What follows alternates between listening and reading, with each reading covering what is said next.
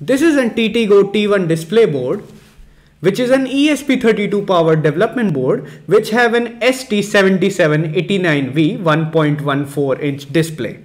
Here's a cool project for this board, an internet clock.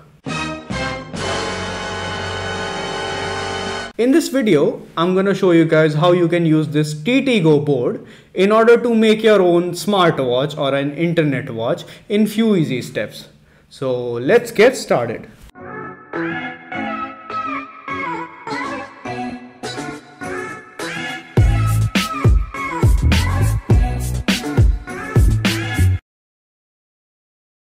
I always wanted to make a clock project as it required many components jam packed into a one smaller form factor. Like for example, to run a clock, we need a power source, which is this LiPo cell and in order to use this LiPo cell, we have to make a charging circuit or a discharging circuit of some kind. Also the clock need a deep sleep mode which will save the battery from getting discharged constantly. The charging circuit will have an overcharging or over discharging setup that will protect the battery from getting overcharged or over discharged. But the TTGO T1 already have a battery management IC, so we don't really need to make any complex circuitry of any sort.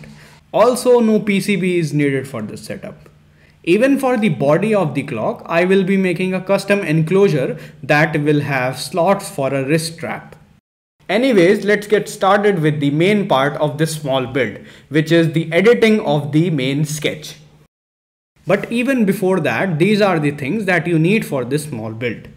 TTGO display board, stable Wi-Fi connection, and your country's UTC. You can find your country's UTC from this link. Before starting this project, you required ESP32 board code files installed on the Arduino IDE, which is a necessity. Install them from here.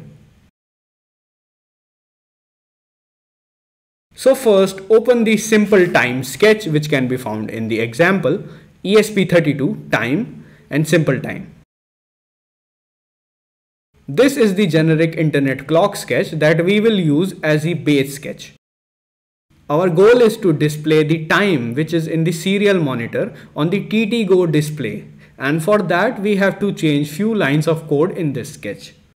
We first add our SSID and password into this sketch now we have to add GTM offset second which can be found from here. For example, I live in India and the GTM here is plus 5 hours and 30 minutes. Plus 5 hours and 30 minutes in seconds is 19,800 seconds. So we have to add 19,800 in the GTM offset. The next is the daylight offset. If your country have daylight saving time, then set it according to that in time in seconds. And if there is not, then set it to 0. Find out about the daylight saving time from here. This will be the final sketch. Not exactly final as this is just for printing the time on the serial monitor. Plug your TTGO board to your computer. Select the right board in the board manager which is the TTGO T display. Select the right port and hit upload. Now open the serial monitor and you will see the ESP32 will connect with your Wi-Fi network and after few seconds the time will start printing at a repetitive rate at an interval of 1 second. If your time is not correct then this might be because of an error in the UTC offset and daylight saving offset. Now this was the basic internet time sketch.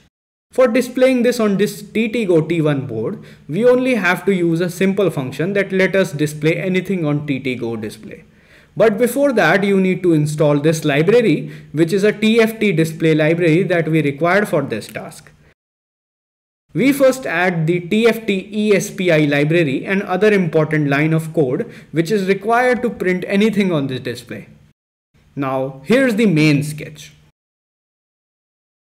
Upload this sketch to your TTGO board and this will be the result.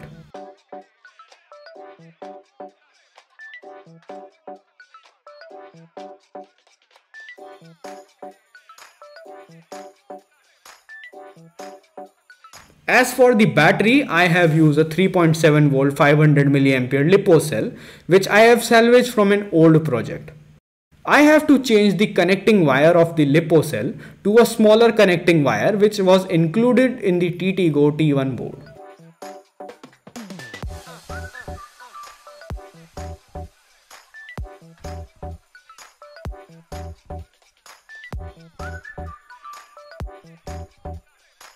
This was the basic setup for the watch project. The next is to design a body for this setup and for that I will be using the Fusion 360. I designed this body for TTGO board which looked like an M5StickC. The 3D model for this TTGO board was downloading from the GrabCAD user Mimosa. I'll leave the download link in the video description so you can go over there and download the board step file from there. For now I haven't decided on the wrist strap for this project. I will probably buy a generic leather strap for this project as well. This is all for part 2. The basic setup of this watch is this. A TTGO T display board hooked up with an LiPo cell which displays the current time and date on its display and this is all enclosed in a nicely 3D printed body. Pretty cool right? If yes then do not forget to hit that subscribe button. Check out this project page for the code and other details. Stay tuned for the part 2 of this watch project and I'll be back.